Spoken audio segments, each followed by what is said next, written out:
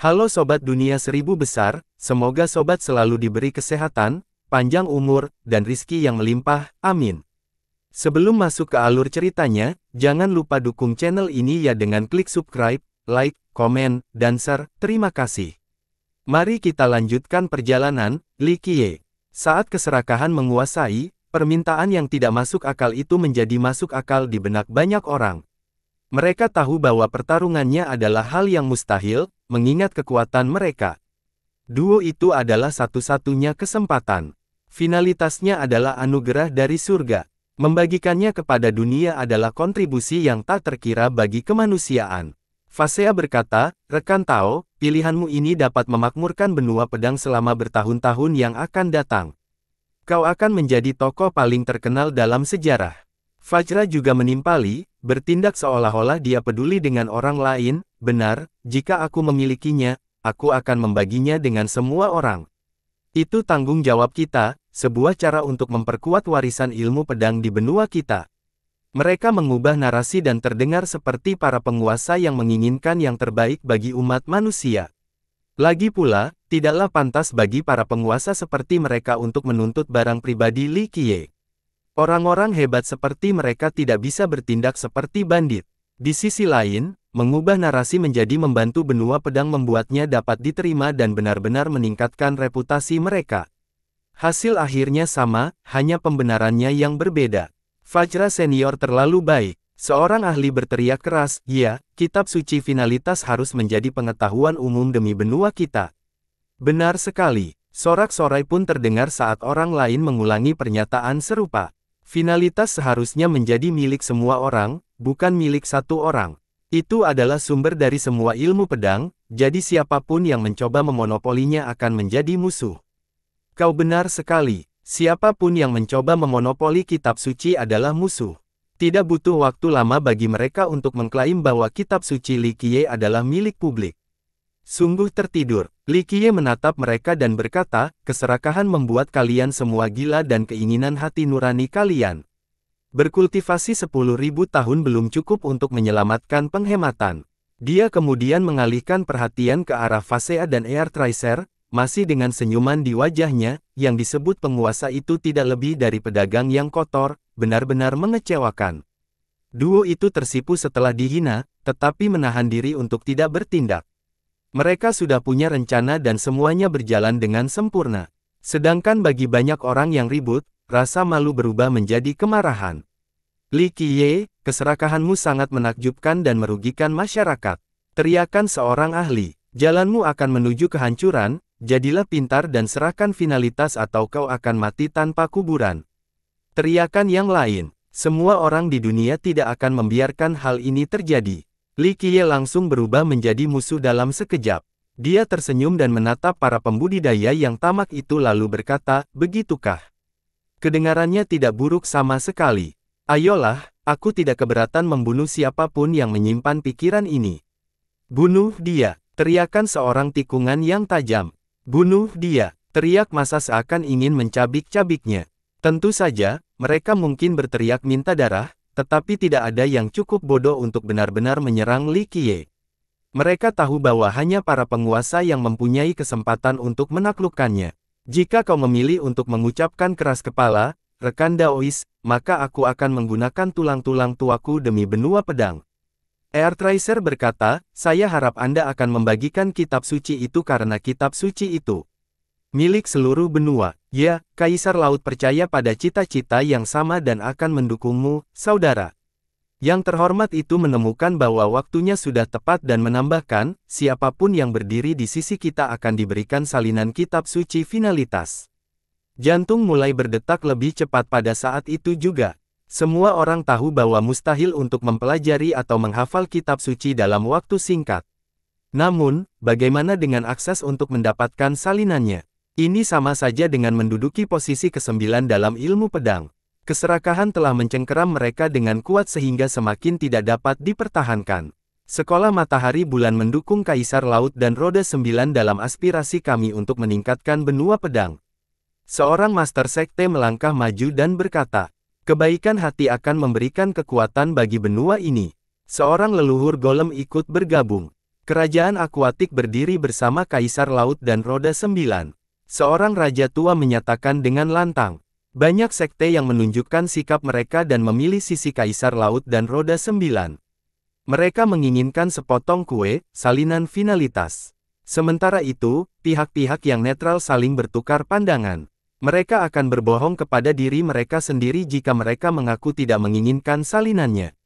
Namun, ini adalah tempat yang terang-terangan, tindakan yang tidak bermoral dan tercela. Beberapa dari mereka tidak ingin mengotori tangan mereka. Kuil pedang mendukung bangsawan muda itu. Lewati aku dulu sebelum memikirkan tentang finalitas. Dewa Pedang Abadi menyatakan, suaranya tidak keras, tetapi semua orang mendengarnya dengan jelas. Penguasa ketiga telah memihak Li Qiye. Kota suci ada di pihakmu, bangsawan muda. Tuan kota suci berkata dengan tenang. Kau memiliki pedang kami, bangsawan muda. Tai Jian berbicara atas nama pedang wilayah. Ling Jian juga tidak menentangnya. Kerajaan pedang kayu ada di bawah kendalimu, bangsawan muda. Poplar Paragon tertawa terbahak-bahak. Begitu pula dengan armamen Mountain. Si Yingsui mengungkapkan pendiriannya. Kami juga termasuk di dalamnya. Sein Pedang Sembilan Matahari berbicara mewakili sekolah berbudi luhur. Kami dengan rendah hati meminta kesempatan untuk berkontribusi. Penguasa lembah api juga memihak Li Qiye. Ulat sutra surga mematuhimu, bangsawan muda. Dongling melangkah maju dan berkata, sebuah kisah muncul di benua pedang antara dua faksi yang kuat, sekutu Kaisar Laut dan Roda Sembilan versus Li Qiye dan pengikutnya. Bila dilihat dari jumlah sekte saja, persekutuan mempunyai keunggulan karena masih dipandang sebagai yang favorit. Meskipun Li Qiye juga memiliki banyak sekte yang kuat di sisinya, mereka belum dapat bersaing dengan kedua raksasa itu. Sama halnya, ada dua penguasa melawan satu. Tentu saja, beberapa orang tetap mengamati di tepi lapangan. Mereka percaya bahwa kebijakan netral adalah jalan terbaik untuk bertahan hidup. Jadi, semua orang sudah menentukan pilihannya. Li Qiye tersenyum sambil memenuhi kerumunan, finalitas sudah di depan mata, datanglah dan dapatkan itu. Li Qiye menyarankan skenario-nya, tidak perlu pembenaran lebih lanjut. Jika mereka menginginkan kitab suci, mereka hanya perlu merebutnya dari tangan. Sayangnya, tidak ada yang mau menjadi yang pertama menyerang. Li Qiye memiliki banyak tuan di belakangnya, jadi kedua penguasa itu harus menjadi yang pertama menyerang. Ehem, Air Tracer terbatuk dan berkata, rekan Daois, kita tidak punya pilihan selain bertindak di sisi keadilan karena Anda ekologi. Cukup sudah omong kosong yang tidak benar ini. Li Qiye mengulurkan tangannya dan menyela pria itu, tidakkah kamu merasa mual karena mengatakan ini? Aku sedang mencari. Para anggota Nine Well, melotot marah setelah mendengar jawaban penghinaan itu. Kurasa waktu untuk mengucapkan sopan sudah berakhir. Fajra itu sedikit kesal meskipun pengendalian mentalnya mengesankan. Li Qiye berulang kali menyinggung perasaannya sehingga bahkan patung pun akan marah pada saat ini. Jangan salahkan kami karena tidak menunjukkan belas kasihan karena kamu tidak mau menyerahkan finalitas. Lanjutnya, itu tergantung pada apakah kamu cukup mampu. Ayo, aku perlu berolahraga. Li Qiye menatap dan tersenyum. Ham, sombong sekali. Kalau bukan karena Dewa Pedang Abadi dan yang lainnya, dia tidak akan berani melawan Yang Mulia Fasea dan Vajra Air Tracer. Seorang pemuda bersinar. Kita lihat saja nanti, kata seorang pakar dengan serius. Semua mata tertuju pada Li Qiye dan Fajra. Semua orang berpikir bahwa meskipun Li Qiye perkasa, pasti ada batasnya karena usianya. Dia telah membuktikan kemampuannya setelah membunuh Peace Ocean dan Void. Sayangnya, masih ada jalan yang harus dilalui sebelum mencapai level penguasaan. Meskipun demikian, karena kemampuan jahat Li Qiye, beberapa orang masih percaya bahwa ia mempunyai peluang. Mengapa kamu begitu yakin akan menang, rekan Daois? Mata Fajra bertambah. Karena membunuh kalian berdua akan mengucapkan salam telapak tangan, kata Likie datar. Ekspresi kedua orang itu menjadi gelap setelah melihat ini. Mereka yakin bahwa mereka adalah yang terbaik bahkan ketika memperhitungkan semua delapan desoles. Likie mungkin satu-satunya yang berani membuat klaim ini. Sungguh bertujuan untuk dimaki dengan hinaan seperti itu. Kedua kesulitan menahan amarah mereka saat ini. Menatap mata mereka menjadi dingin dan niat membunuh mereka berkeliaran secara bebas cukup dingin untuk membekukan semuanya. Kalian tidak tahu betapa luasnya langit dan bumi, berhentilah bicara. Teriakan seorang profesional. Dasar bodoh, kamu akan segera mendapatkan pemakaman. Seorang murid dari sembilan roda berteriak. Kita tidak akan pernah berhenti sampai kita dibunuh. Seorang ahli dari Kaisar Laut membongkarkan giginya. Di sisi lain, para penguasa yang frustrasi tetap mempertahankan ketenangannya. Baiklah, saya akan menguji kepercayaan diri Anda dengan tulang-tulang tuaku. Kata penggalang bumi. Situasinya sudah cukup memburuk sehingga mereka terjatuh ke sudut yang benar. Kesombongannya membenarkan agresivitas mereka. Li Qiye tersenyum dan berkata, satu persatu terlalu membosankan, aku lebih suka keramaian. Ayo berkumpul. Apa? Semua orang melihatnya dengan tercengang, tak bisa berkata apa-apa. De dia ingin melawan Yang Mulia dan Fajra di saat yang bersamaan. Konyol, seorang ahli berteriak. Bahkan Dewa Pedang Abadi tidak akan berani melakukannya. Ini gila. Seorang leluhur di pihak Li Qiye menarik napas dalam-dalam. Sekutu-sekutunya menjadi khawatir, bertanya-tanya apakah mereka harus membiarkan Li Qiye melakukan sesuka hatinya. Mayoritas tidak terlalu memikirkan peluang Li Qiye. Melawan dua penguasa sendirian adalah sesuatu yang belum pernah terjadi sebelumnya dan bunuh diri, terutama bagi seorang junior. Meskipun demikian, beberapa orang cukup pintar untuk tidak pernah mengabaikan Li Qiye. Peluangnya masih ada, meski agak kecil. Meskipun keadaannya konyol dan menyeringai, kedua penguasa itu tetap bersikap sopan, sesuai dengan status mereka. Kata-kata yang sudah diucapkan tidak dapat ditarik kembali. Kata yang mulia Fasea dengan dingin, ingin mencegah Li Qiye untuk mengingkari janjinya karena keduanya memiliki keyakinan penuh untuk memenangkan pertarungan dua lawan satu. Aku tidak pernah menyesali kata-kataku. Li Qiye tersenyum, jangan khawatir, kamu bisa membawa sebanyak yang kamu mau. Rekan Tao, apakah kau akan sendirian? Fajra bertanya pada Li Qiye namun, berbunyi pada Dewa Pedang Abadi dan para guru lainnya. Akan sangat bermasalah jika mereka bersatu di tengah pertarungan untuk menyelamatkan Li Qiye. Tenang saja, kami tidak akan ikut campur jika bangsawan muda itu ingin bertarung sendirian. Dewa Pedang Abadi menegaskan, itu mengakhiri skenario karena seseorang dengan status seperti dia tidak akan berbohong. Ini benar-benar terjadi. Seorang ahli tidak dapat mempercayainya. Dia tidak hanya melawan dua penguasa besar, tetapi juga sekte mereka. Seorang leluhur dihormati. Jangan mengukur hati seorang pria terhormat dengan pemimpin yang hina. Li Qiye tersenyum, saya akan bertarung sendirian seperti yang telah saya nyatakan sebelumnya, tidak peduli berapa banyak dari kalian yang ada. Kedua penguasaan itu saling bertukar pandang dan memikirkan situasi, tidak ada jalan kembali bagi mereka saat ini karena ini adalah pertempuran resmi. Berunding atau menyerah berarti membuang gengsi dan otoritas sekte mereka, tidak seorang pun akan menganggap mereka serius di masa depan. Jadi, pertempuran mutlak diperlukan atau mereka akan menjadi pendosa. Ini sebelum menjelaskan finalitas juga. Ada beberapa alasan untuk bertarung.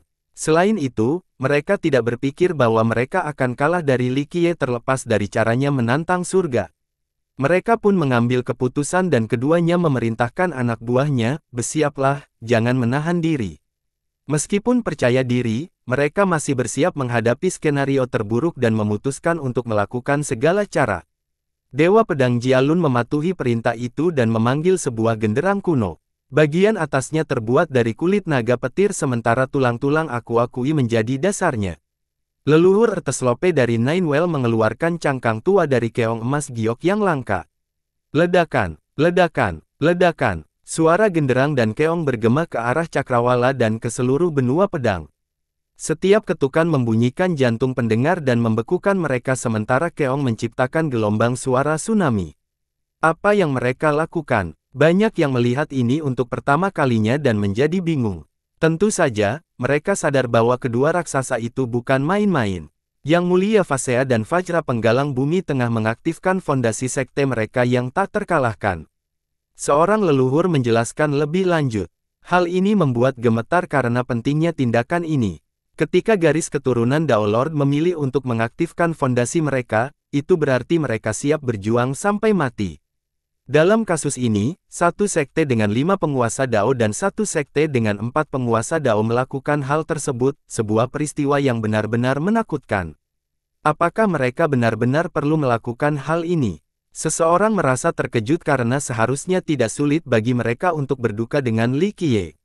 Agar benar-benar aman, atau mungkin menangkap semuanya dengan satu jaring. Seorang jagoan berpikir sebelum melirik ke arah kelompok Dewa Pedang Abadi. Orang-orang di sekitar menjadi emosional. Bagaimana jika rencana sebenarnya dari kedua penguasaan itu adalah menangkap semua orang? Ini berpotensi menghancurkan pesaing mereka dan memberi mereka hegemoni sejati. Ledakan Begitu suara genderang dan keong mencapai jarak yang cukup jauh, ledakan yang memekakkan telinga menggetarkan seluruh benua. Lihatlah ke arah Kaisar Laut. Banyak yang menjadi tenang dan menoleh. Kerajaan itu berada di wilayah samudera yang luas. Sinar yang menyilaukan melesat ke langit dan menghasilkan wilayah itu dengan energi pedang yang mengerikan. Klang, klak, klak, bayangan pedang raksasa muncul di udara. Masing-masing menyerupai pilar surgawi yang mampu mendorong kubah langit. Semua entitas lain terasa sangat kecil jika dibandingkan, mirip dengan serangga biasa. Pedang-pedang itu mengandung kekuatan yang cukup untuk bertindak sebagai penghakiman tertinggi. Baik leluhur biasa maupun leluhur yang perkasa akan disingkirkan oleh pedang-pedang yang luar biasa ini. Mereka beraksi secara spasial dan muncul di tanah pemakaman di hadapan para penonton yang tercengang, langsung menyegel wilayah laut. Rune jenis pedang dao muncul dan menciptakan momentum yang sangat besar, akhirnya membentuk sebuah formasi. Bersiap, teriak Dewa Pedang Jialun dan para anggota Kaisar Laut menuju rune yang ditugaskan kepada mereka. Ledakan, mereka menjadi bagian dari formasi pedang. Pada saat yang sama di Si Emperor, denyut yang terbuat dari energi pedang yang tak terhitung jumlahnya melesat melewati alam dan memberdayakan formasi. Formasi yang diperkuat menjadi cukup lebar untuk menampung langit dan bumi dengan kobaran api dan pedang energi. Siapa pun yang terjebak di dalamnya akan langsung berubah menjadi abu seolah-olah mereka sedang mengat. Jumlahnya tidak lagi menjadi masalah karena satu miliar prajurit akan tetap terbakar seketika oleh formasi pedang ini. Petik dua tanda seru tanda seru tanda seru petik dua. Kerumunan itu terkesiap setelah melihat betapa lemahnya mereka meskipun telah bertahan selama bertahun-tahun. Ini adalah fondasi Kaisar Laut.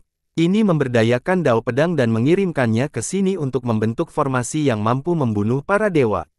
Seorang tetua agung memiliki ekspresi serius.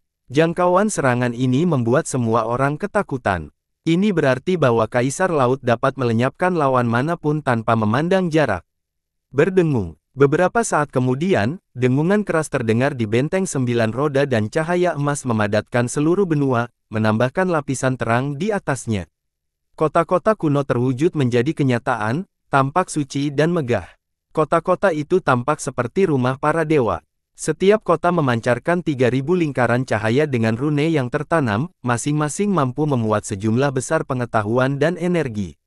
Dengan demikian, lingkaran cahaya tersebut tampak seperti manifestasi fisik dari Grand Dao. Berdengung, Cahaya mereka meliputi seluruh wilayah dan mencapai tanah pemakaman juga. Para penonton mendongak dan melihat cahaya di atas mereka.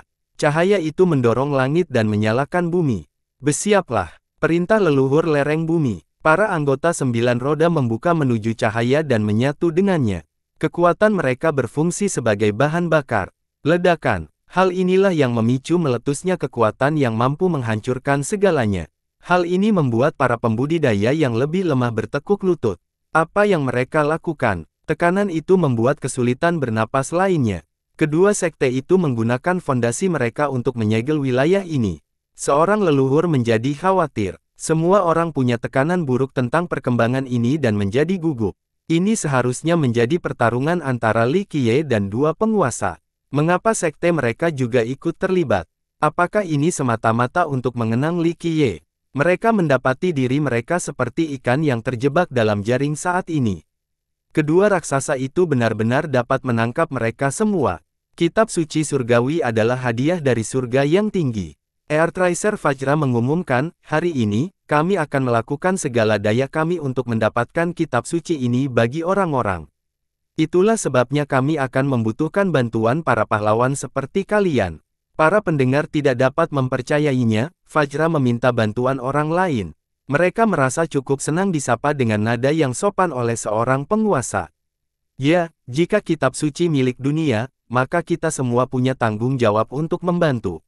Seorang master sekte yang memilih untuk berdiri bersama para raksasa mendukungnya. Dia kemudian memimpin murid-muridnya ke lingkaran cahaya terang. Kami juga akan mendukungmu. Yang lain memilih sisi ini dan memasuki formasi pedang. Tidak butuh waktu lama sebelum lebih banyak lagi yang keberatan bergabung dengan mereka. Memperoleh salinan finalitas adalah satu hal, tetapi bergabung dalam pertempuran ini mungkin menjadi hari paling gemilang dalam hidup mereka. Mereka dapat menceritakan kisah ini selama bertahun-tahun yang akan datang, menjadi orang yang memenuhi syarat dan cukup mampu untuk membantu para penguasa. Gemuruh, kekuatan pembentukan pedang dan lingkaran cahaya meningkat setelah mendapatkan lebih banyak pengikut. Hal itu menjadi tidak terganggu bagi semua orang dan membuat jelas betapa lemahnya kehidupan. Beberapa penonton netral menyesal tidak segera masuk. Mohon maaf atas kesediaan kami untuk melakukan hal ini, kata Yang Mulia Fasea. Baik dia maupun Fajra menghela napas lega. Mereka yakin telah mengumpulkan cukup kekuatan untuk menghancurkan pihak Likie tanpa masalah. Likie tidak hanya menghadapi dua raksasa tetapi juga sekte mereka bersama dengan ribuan kepemilikan ahli. Terlebih lagi Kaisar Laut dan Sembilan Roda telah selesai mempersiapkan fondasi dan pembentukan mereka. Bahkan jika dia bisa mengalahkan para penguasa, dia mungkin bukan satu-satunya yang tersenyum. Secara keseluruhan, peluangnya tidak berpihak padanya. Inilah alasan mengapa duo itu begitu percaya diri. Mereka tidak mencapai jarak sejauh ini selama pertempuran sebelumnya untuk era segudang. Faktanya, ini adalah pertunjukan kekuatan militer yang belum pernah terjadi sebelumnya, mungkin kekuatan terkuat yang mungkin ada di benua pedang. Oleh karena itu, sekutu Li Qiye merasa gelisah dan memiliki kekhawatiran buruk tentang hal ini. Formasi pedang dan lingkaran cahaya itu dimaksudkan untuk mereka juga, bukan hanya Li Qiye. Jika Li Qiye kalah, maka mereka semua akan tertangkap. Seluruh benua akan jatuh di bawah kendali kedua raksasa itu, tidak ada yang berani melawan mereka. Rekan Tao, kita telah membuang banyak waktu. Air Tracer Fajra berbicara, kali ini terlihat sedikit lebih ramah. Alasannya sangat sederhana. Sebelumnya dia marah karena sikap menghina Li Qiye, tetapi sekarang, mereka sudah cukup siap untuk memiliki keuntungan mutlak. Rupanya kekalahan Li Qiye sudah tidak dapat dihindari. Inilah saatnya mereka mencapai finalitas selain menyingkirkan mereka yang berani melawan mereka. Mengingat keadaan ini, sudah saatnya untuk menampilkan keripik dan keripik dalam kemenangan. Kalau begitu, mari kita mulai. Li Qiye tersenyum, sama sekali tidak terpengaruh oleh kekuatan di depannya. Sungguh jenius, aku tidak punya keberanian atau tekad yang sama saat itu. Air Tracer memuji. Perubahan sikapnya membuatnya tampak seolah-olah dia menghargai bakat Li Qiye dan ingin merekrutnya. Cukup omong kosongmu, kemarilah agar aku bisa menyelesaikan ini. Aku punya urusan lain yang harus kulakukan. Kata Li Qiye datar. Duo yang percaya diri itu tidak mengerti. Mereka telah menunjukkan kartu mereka tetapi pemuda ini tetap meremehkan dan menganggap mereka sebagai serangga, tidak mudah untuk tetap tenang di hadapannya. Baiklah, aku ingin melihat apa yang bisa kamu lakukan, rekan Daois. Saya ingin tahu apakah Anda telah mempelajari ilmu pedang ke-9, tatapan mata yang mulia Fasea berubah dingin. Komentarnya membuat semua orang bertanya-tanya tentang kemungkinannya. Li Qiye dikenal sebagai putra keajaiban dan telah melakukan hal-hal gila sebelumnya. Sekarang, tidak ada yang berpikir aneh lagi jika mengingat kembali. Bagaimanapun, dia memiliki kitab suci surgawi. Artefak semacam itu hampir maha kuasa. Kaisar Laut hanya membutuhkan dua dao surgawi untuk menguasai benua. Sedangkan Li Qiye, ia memiliki kesembilannya. Hal ini membuat orang membayangkan pencapaiannya yang sebenarnya dalam ilmu pedang. Bisakah satu orang memasak sembilan dao? Seorang skeptis berkata karena tidak ada seorang pun dalam sejarah yang pernah mendekatinya. Kenyataannya, hanya dengan mengolah dua dari dao saja sudah menandakan seseorang menjadi seorang jenius yang luar biasa. Bakat mengerikan macam apa yang dibutuhkan untuk menyelesaikan bersinnya. Seorang ahli generasi terakhir menginap sambil menatap Li Qiye. Mereka yang pernah berpengalaman dengan ilmu pedang surga tahu bahwa sangat sulit untuk menguasai satu pun meskipun telah menikmati seumur hidup. Raja Pedang Lautan Damai mempelajari dua pedang surgawi, kan? Semua orang memikirkan seorang jenius tertinggi tertentu. Semua orang mengakui bahwa dia adalah orang nomor satu di generasi muda karena memiliki dua dao. Lalu bagaimana dengan seseorang yang memiliki sembilan dao? Sepertinya Raja Pedang Lautan Perdamaian kalah karena suatu alasan. Seseorang yang datang. Beberapa waktu yang lalu, banyak orang tidak mengerti mengapa para jenius yang kuat itu kalah dari Li Qiye. Sekarang, penjelasannya menjadi agak jelas. Pertanyaan barunya adalah, berapa banyak ilmu pedang yang telah dipelajarinya? Kau terlalu memikirkan dirimu sendiri, satu saja sudah cukup, tidak perlu menggunakan lingkungannya untuk membunuh kalian semua. Li Qiye berada di sekelilingnya dan berkata, Begitukah? Mari kita lihat apa yang bisa kamu lakukan. Fasea yang mulia akhirnya berteriak untuk pertama kalinya. Kata-katanya menggelegar di telinga semua orang dan membuat mereka melihat bintang-bintang. Amarah seorang penguasa beberapa menyebabkan orang pingsan juga. Mendering, sebuah pedang-pedang dan energi ungu meledak saat yang terhormat mengeluarkan pedang surgai. Energi ungu yang mengalir darinya membuat pedang itu tampak seperti sumber dunia, jurang yang dapat melahirkan semua hal. Maka, satu orang darinya dapat melepaskan jurang ini lagi untuk memanaskan dunia. Jurang, mereka yang mengenalinya berteriak ngeri. Beberapa waktu yang lalu, Peace Ocean menggunakan Fasea dan sekarang, yang terhormat akhirnya menampilkan pedang surgawi kedua. Yang terhormat itu menimbulkan rasa takut kepada penonton saat ia menggunakan abis, tidak seorang pun meragukan kekuatan seorang penguasa, tetapi penambahan pedang surgawi semakin meningkatkan rasa takut itu. Ia belum mengaktifkan auranya, tetapi semua orang masih melihat ilusi, bahwa ia adalah penguasa alam semesta. Semua kehidupan berada dalam genggamannya. Satu hembusan napasnya dapat membunuh satu miliar orang. Ledakan, dia melepaskan 12 istananya dan vitalitasnya yang deras, hampir menghancurkan langit itu sendiri. Aura yang menekannya melemahkan dan membuat mereka tak berdaya. Bagaimana mungkin seseorang bisa mengalahkannya jika dia memiliki pedang itu? Seorang leluhur perkasa dari sekte lain menjadi pucat. Pedang itu tampaknya meningkatkan kekuatan yang sudah luar biasa beberapa kali lipat. Ambil ini, dia meraung dan melenyapkan keberanian semua orang. Mereka merasakan jiwa mereka meninggalkan tubuh mereka. Dia ingin menguji kekuatan Li Qiye dengan tebasan jurang ini.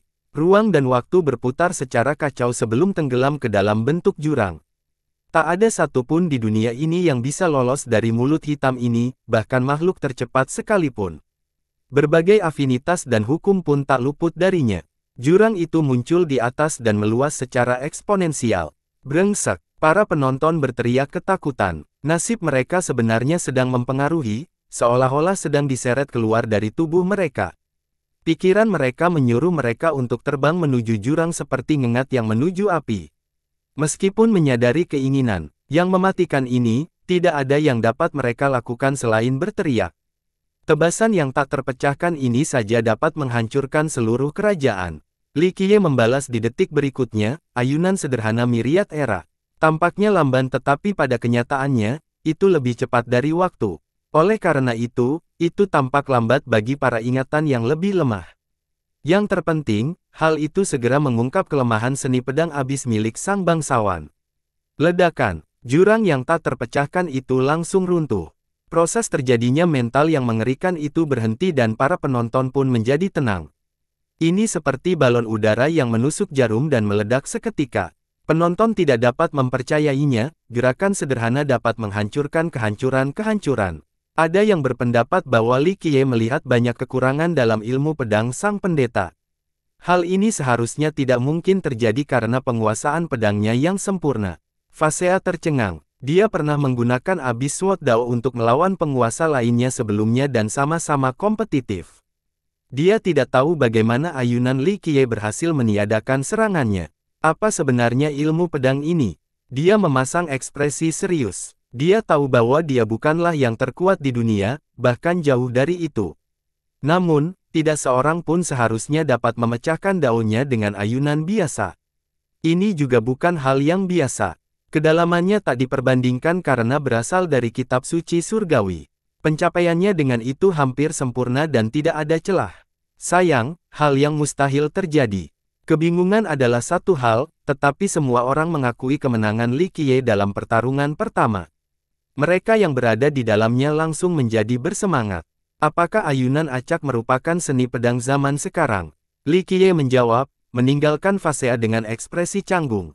Ingat, pedang laut luas membantu sektenya mendominasi benua. Sekarang, ayunan acak membatalkannya. Li Qiye meremehkan dan meremehkan prestasi ajaibnya sehingga mereka yang dari Laut Pedang mengira bahwa dia meremehkan pedang Dao Jurang mereka dan memperlakukannya seolah-olah tidak ada keuntungan. Kekalahan dalam pertarungan pertama sangat terpana bagi si Emperor. Namun, Fasea dan Air Tracer tetap fokus pada pertempuran, bukan pada harga diri. Sebagai penguasa, mereka tentu memahami kekuatan serangan jurang tadi. Oleh karena itu, perjanjian Li Qiye bahkan lebih mengesankan. Ambil ini. Fasea meraung, serangan jantung abis. Kali ini, tebasannya tidak menciptakan jurang yang mengerikan. Tebasannya selembut hujan di musim semi, hampir tak terlihat. Pedangnya bergerak seperti mengomel pohon willow yang bergoyang mengikuti angin. Itu mencakup kekuatan nol dan niat membunuh.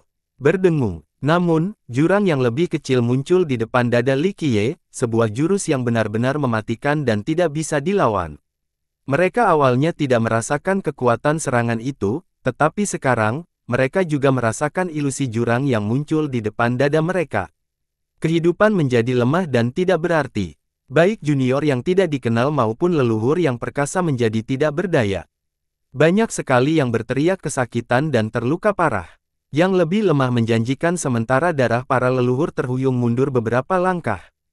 Meskipun Li Qiye adalah satu-satunya target, Dao dan kedalaman teknik itu masih mempengaruhi orang-orang di sekelilingnya. Mereka tahu bahwa jika mereka berada di posisi Li Qiye, mereka akan langsung jatuh dan mati. Di sisi lain, Li Qiye tidak terlalu khawatir dan langsung menusukkan pedangnya ke depan, dengan mudah menghancurkan jurang kecil itu. Kali ini, Fasea terpaksa mundur setelah kalah pada pertukaran kedua. Dia membatalkannya lagi. Seorang Penonton yang tenang dan tidak terluka oleh serangan orang yang terhormat itu berteriak. Pembatalan pertama bisa jadi karena keberuntungan. Namun, bagaimana jika terjadi lagi? Ini berarti Li Qiye tahu bertahan cara mengalahkan pedang Dao abis. Dia kemungkinan besar melihat banyak kekurangan dan manfaatnya. Semua orang terguncang karena Dao Surgawi ini telah mendominasi selama berabad-abad. Hanya beberapa orang terpilih yang mampu mengalahkan mereka. Jangan lupa, dia punya kitab sucinya, kata seorang raja dengan suara pelan. Banyak yang bertukar pandang dan berpikir bahwa ini adalah satu-satunya penjelasan. Jangan bilang dia sudah mempelajari sembilan jurus itu, kata seorang pemuda dengan nada tak percaya. Mungkin dia tidak tahu cara menggunakannya, hanya tahu cara mengalahkannya setelah membaca kitab suci. Dia bisa melihat semua kekurangan dan celahnya. Seorang ahli berpikir, Apakah itu berarti ilmu pedang surgawi dari semua sekte tidak berguna melawannya? Dia hanya butuh satu ayunan untuk mengalahkan mereka. Tanya panggilan lain. Sementara banyak orang terkejut, seorang tokoh tua menyadari sesuatu yang lain dan menenangkan kepalanya, pengetahuan saja tidak cukup untuk melakukan ini. Singkatnya, orang-orang memperhatikan dengan berbagai emosi, iri hati, cemburu, takut, cemas. Tidak ada yang tahu bahwa Li Qiye adalah orang yang membuka halaman baru. Siapa lagi yang bisa lebih memahami kelemahan mereka selain dia? Tunjukkan sedikit keterampilanmu di hadapan seorang ahli. Dia tersenyum. Semua orang mengira bahwa Yang Mulia belum pernah mendengar hinaan ini sebelumnya. Sayangnya, bagaimana mungkin ada yang mencoba membantah? Li Qiye dengan mudah menghentikan serangannya dua kali. Dia tidak bisa lebih berjanji lagi. Yang Mulia meringis. Dia sangat percaya diri dengan pedang Dao Abis. Sayangnya, itu tidak berhasil melawan Li Qiye. Meski begitu, dia tidak menjadi pesimis begitu saja. Dia bertukar pandang dengan sekutunya dan langsung membuat rencana baru. Sungguh menakjubkan, dia adalah ahli kitab suci surga. Fajra berkata, sepertinya kamu telah memahami esensinya, tetapi aku menolak untuk menyerah. Dia melangkah maju dan ingin mencoba setelah pengukuran yang gagal oleh Yang Mulia. Meskipun Li Qiye memiliki finalitas, teknik Fajra berasal dari enam roda dan tidak ada kepastian dengannya. Rekan Tao, tolong beri saya petunjuk. Dia berbicara dengan sopan tetapi sama sekali tidak menunjukkan belas kasihan. Pergi, Li Qiye tampaknya tidak khawatir. Maafkan saya, tatapan mata sang Fajra tiba-tiba menjadi tajam ke arah semua penonton. Ia melancarkan serangan telapak tangan yang cukup kuat untuk menghancurkan ruang dan waktu. Ketidakstabilan ini melemahkan Li Qiye dan bertujuan untuk melemahkannya. Detik berikutnya, tangannya menjadi cemerlang seolah terbuat dari emas. Semua orang merasa bahwa bukan hanya tangan saja yang melayang. Seluruh jalan dan struktur spasial yang tak terhitung banyaknya juga bergerak maju. Telapak Fajra tanpa batas. Seorang leluhur menyadari gerakan itu dan menjadi emosional. Ini adalah teknik yang berasal dari roda Fajra, salah satu dari banyak teknik telapak tangan yang hebat. Teknik ini mengandung kekuatan murni, bahkan dewa pun tidak dapat bertahan hidup. Sayangnya bagi para penonton, ini berarti mereka mendapatkan cedera lain yang ditambahkan ke dalam daftar. Beberapa tulang retak dan lebih banyak darah yang dimuntahkan meskipun Li Qiye adalah satu-satunya target. Ia dapat menembus bumi. Komentar seorang pakar, Fajra itu menunjukkan kehebatannya dan membuktikannya. Mereka mengira Li Qiye akan kesulitan menghadapi serangan dahsyat yang datang dari segala arah. Li Qiye tidak memasukkan mata saat ruang di sekitarnya runtuh. Dia hanya mengacungkan pedangnya ke atas dengan santai. Sayangnya, ia bergabung dengan hukum dunia dalam harmoni yang sempurna, terhubung dengan kebenaran Dao Agung dan melihat rahasia dunia abadi. Ia menerobos segalanya dan mendorong jalan menuju pusat telapak Fajra. Ledakan, benda itu menerobos energinya, menembus telapak tangan, dan terbang menuju dada. Sang penguasa bereaksi cepat pada saat-saat penting ini dan mengaktifkan pertahanannya. Sebuah tembok besar yang diperkecil oleh para bijak muncul di hadapannya. Nyanyian panjang dari para resi ini menciptakan perlindungan yang tak tertembus. Beberapa tokoh besar mengamatinya dengan saksama dan tidak melihat adanya cacat. Meskipun demikian, pedang Li Qiye selaras dengan dunia dan menjadi satu-satunya irama. Semua irama dan momentum lainnya menjadi hal sekunder, tidak lebih dari sekedar suara. Dengan demikian, pedang itu dengan mudah menembus celah di dinding dan menyebabkan seluruh dinding runtuh. Fajra menyadari hal ini dan mundur dengan tergesa-gesa, tetapi sudah terlambat. Pedang itu berhasil mengucurkan darah. Mata terbelalak karena tak percaya dan suasana berubah menjadi sunyi senyap. Telapak tangan dan dinding Fajra merupakan puncak dari usahanya seumur hidup mempelajari roda Fajra. Hari ini, Li Qiye mengalahkan keduanya dengan satu variasi. Ini tidak masuk akal bahkan dalam mimpi. Saya pasti sedang bermimpi, gumam seorang penonton. Namun, itu benar-benar terjadi. Buktinya adalah luka berdarah di dada Fajra. Itu bukan salah satu dari sembilan jalan surgawi. Apa yang baru saja dia lakukan? Komentar seorang tokoh besar adalah satu hal bagi Li Qiye untuk mengalahkan pedang Dao Lautan luas dari yang terhormat karena ia memiliki versi aslinya. Dalam hal ini, ia tidak memiliki enam roda alam segudang. Penjelasannya tidak ada lagi. Fajra menjadi telapak tangan, juga gagal dalam usahanya untuk mengukur kemampuan Li Qiye. Ayunannya yang santai mengalahkan teknik hebat mereka dan mencekik mereka. Ini belum pernah terjadi sebelumnya, semua teknik mereka sepertinya menemui musuh bebuyutannya. Rekan Tao, kami dengan rendah hati meminta nama pedang teknik Anda. Fajra menolak menerima bahwa ia kalah karena gerakan acak. Seperti yang sudah kukatakan, itu hanya tebasan. Jawab Li Qiye. Semua orang bahkan tidak bisa tersenyum kecut saat ini. Jika Li Qiye dapat membatalkan jasa hukum tertinggi dengan ayunan acak, maka mereka mungkin juga bunuh diri. Upaya mereka dalam berpikir adalah pemborosan waktu. Hukum jasa yang mereka banggakan sama sekali tidak berguna. Bagaimana bisa tebasan itu begitu kuat? Yang mulia tidak mempercayainya. Intinya bukan pada diriku sendiri, melainkan pada kesadaran pribadimu. Kata Li Qiye, tolong jelaskan lebih lanjut. Tanya Fajra, kau seharusnya sudah tahu definisi mengingat usia dan pemikiranmu. Kitab suci surgawi memang hebat, tetapi apakah cocok? Hanya dao milikmu sendiri yang terkuat. Dia menatap mereka dan berkata dengan datar. Keduanya tidak lagi merasa terganggu dengan sikap Li Qiye. Mereka menjadi tenang dan memperoleh kejelasan. Benar, benar, dao kita sendiri. Fajra mengulang dengan keras. Saya dengan rendah hati menerima pelajaran ini. Mempelajari dao di pagi hari dan meninggal di malam hari, tidak ada penyesalan. Teriak sang pendeta, ini hari yang baik untuk mati dalam pertempuran, Ayo kita lakukan. Fajra menjadi percaya diri setelah mencapai pencerahan. Mendering, yang sebaiknya menyingkirkan abis dan mengeluarkan torrential rain sebagai gantinya. Penonton, terutama para pemuda, tercengang. Kenapa? Abis tidak berhasil, apakah torrential rain bisa melakukan sesuatu? Salah satu dari mereka menyaring pilihannya untuk meninggalkan pedang surgawi. Tidak peduli seberapa kuat dia, pedang buatannya tidak dapat dibandingkan dengan salah satu dari sembilan pedang-pedang. Dia bukan satu-satunya. Air Tracer Vajra memancarkan cahaya keemasannya dan menggantinya dengan aura samar. Penuh dengan kehidupan dan kesucian, menjadikannya tampak beberapa ribu tahun lebih muda, bukan lagi seorang leluhur yang sudah tua melainkan seorang pemuda yang bersemangat. Dia tidak menggunakan teknik surgawi juga, tapi itu membuatnya menjadi dirinya sendiri, kata seorang ahli. Hal ini tercermin dalam gelarnya yang memiliki karakter yang sama dengan roda Vajra. Hukum jasa telah mendorongnya ke puncak, tetapi sekarang, ia memilih untuk meninggalkannya.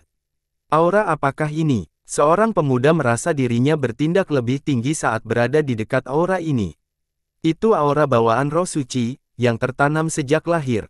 Mereka disulut dengan vitalitas yang luar biasa. Seorang leluhur menjelaskan, Air Tracer berasal dari ras roh suci tetapi tidak pernah menggunakan keunggulan rasialnya karena roda Vajra sangat kuat. Hari ini, ia kembali ke akarnya. Kekuatan rasnya menggantikan kekuatan kitab suci surgawi. Ledakan, dia menggenggam kedua tangannya dan mengangkatnya ke udara. Ruang bergetar dalam proses tersebut karena gerakan kecil itu. Tinju tirani suci, teknik yang diciptakannya. Kaisar sebuah dinasti menjadi mengejutkan. Orang-orang terkejut karena mereka belum pernah mendengar tentang teknik ini sebelumnya. Mereka hanya tahu tentang prestasinya dengan roda Vajra, bukan teknik tinju ini. Tentu saja, itu bukan salah mereka karena dia jarang menggunakannya. Kami akan menggunakan hukum jasa kami sendiri untuk menguji diri kami terhadap Anda, rekan Daois. Vajra meraung. Yang lain mulai memikirkan keputusan mereka.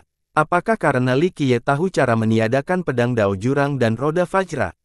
Salah satu anggota bertanya, tidak sepenuhnya. Seorang tokoh besar dari generasi sebelumnya berkata dengan serius, alasan lainnya adalah karena jalan-jalan itu bukan milik mereka.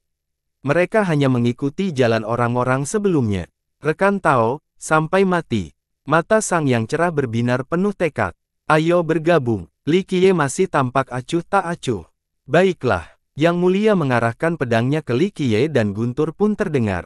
Ayo hujan. Hujan pedang turun sementara sang bangsawan sendiri melepaskan rentetan petir naga ke arah Li Qiye.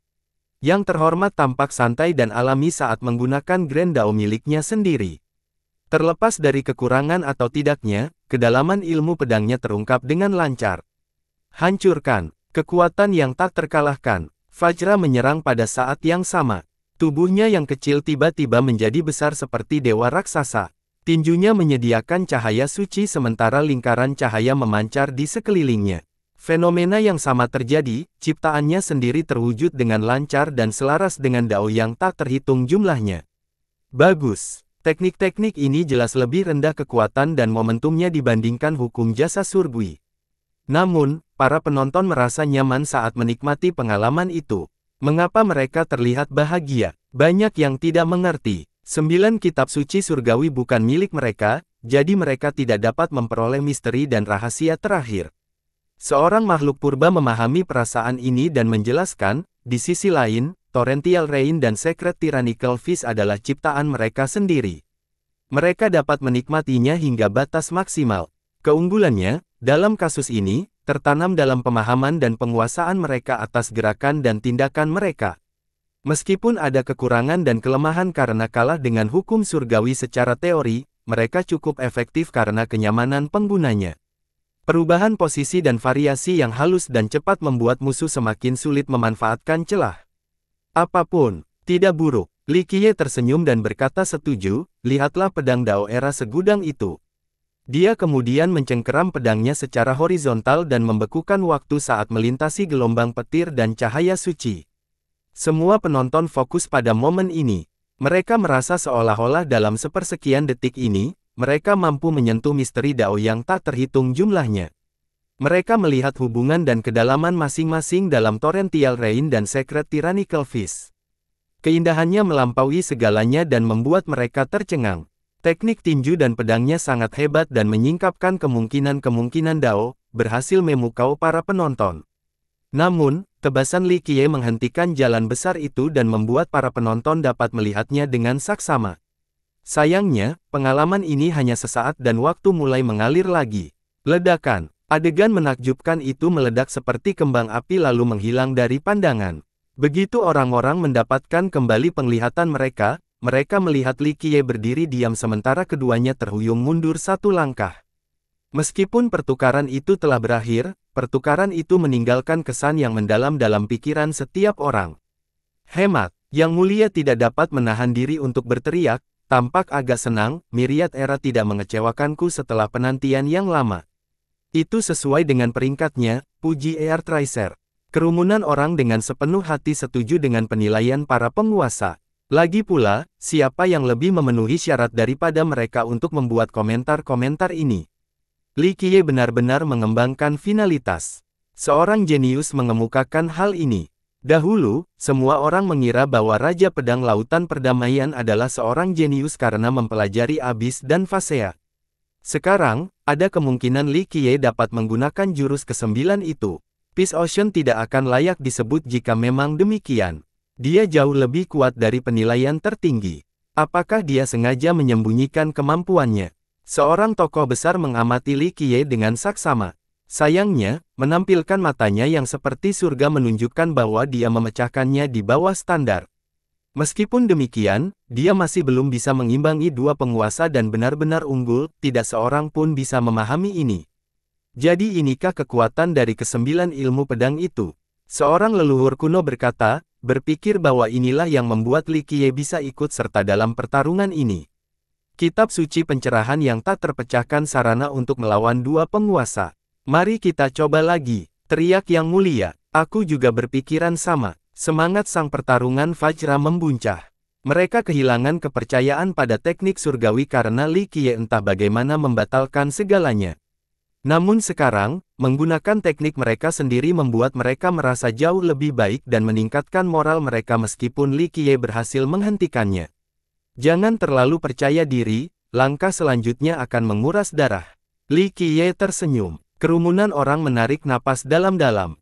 Hanya sedikit yang bisa mengatakan hal ini kepada keduanya, tetapi mereka percaya bahwa Li Qiye dapat melakukannya dengan mudah. Kenyataan ini membuat mereka sangat takut. Duo itu saling bertukar pandang. Hanya dua pilihan yang menanti mereka, berhenti di sini atau bertarung sampai mati. Saya telah memasuki banyak medan perang sebelumnya dan tidak asing lagi dengan darah. Yang berbicara dengan penuh semangat. Mari kita lihat siapa yang akan menumpahkan darahnya. Fajra raksasa itu menegaskan, sesuai keinginanmu. Likie terkekeh dan perlahan mengangkat kaktus, menciptakan banyak era dalam prosesnya. Memutar cahaya berputar di sekelilingnya, menciptakan fenomena dirinya berdiri di sungai. Waktu, pedang itu mampu mempengaruhi aliran waktu. Satu aliran bisa berlangsung selama 10.000 tahun, atau bahkan jutaan tahun.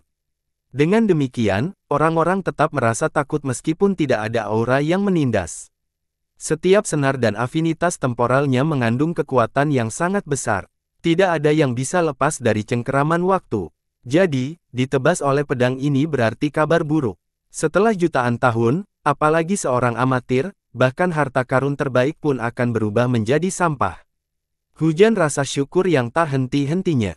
Yang mulia kembali menggunakan gaya serangan yang sama, melukiskan pemandangan yang indah. Penonton tenggelam dalam ilusi yang terlihat di tengah hujan, momen terbaik dalam hidup mereka. Mereka menjadi teralihkan dan menjadi korban pedang. Anehnya, mereka juga merasa bersyukur terhadap serangan ini karena membawa mereka kembali ke masa yang lebih baik. Mereka merasakan sakit yang menusuk hati mereka. Pertahanan dan teknik tidak berguna melawan serangan ini karena semua orang memiliki emosi. Saat mereka merasakan sesuatu, terutama rasa bersalah atas serangan itu, pedang itu akan langsung menusuk jantung mereka. Beberapa orang berpikir bahwa mati adalah hal yang sangat berharga karena mereka mengingat masa lalu yang gemilang. Roh Tiran, sedangkan untuk Fajra, aura samarnya menjadi cemerlang setelah ledakan keras. Ia melepaskan pukulan yang mampu menghancurkan semua hal. Gelombang kejut saja dapat membuat seseorang berdarah. Hal ini sangat berbeda dengan pedang milik orang yang terhormat. Yang satu menyerang pikiran sementara yang lain menggunakan kekuatan kejam. Dorongan krono, Li Qiye perlahan menggerakkan tangan dominannya ke depan. Namun, bila itu sendiri bukanlah benda yang didorong melainkan waktu itu sendiri. Bas, Aliran waktu menggerogoti hujan pedang ilusi dan energi tinju yang ganas. Hujan mengering dan gelombang energi berubah menjadi secepatnya. Keduanya tidak mampu menahan aliran waktu. Aktifkan. Duo itu menggunakan vitalitas mereka untuk menuangkan energi ke dalam teknik mereka, ingin mencapai kondisi puncak mereka. Mereka mencoba memperkuat teknik mereka lagi untuk menghadapi badai waktu. Sayangnya, hal ini terbukti sia-sia. Bersambung.